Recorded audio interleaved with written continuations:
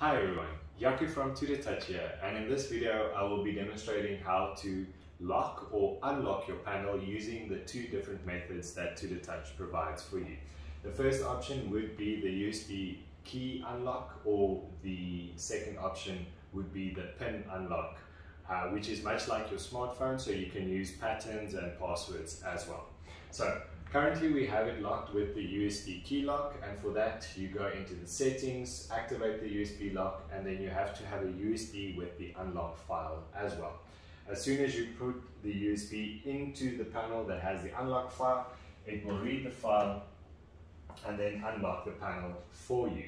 So that was the first method that you could use. And then the second method would be the key lock, which you can find on the side menu bar going to more, and then you'll see there's a screen lock option. So as soon as I press it, it will lock the screen for me. Now we have set it up to be a combination code.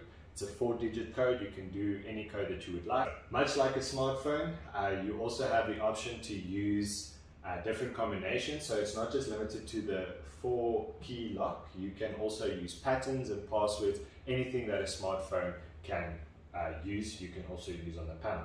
So now just to show you guys, I'll swipe up, input my key lock, and that will unlock the panel for me.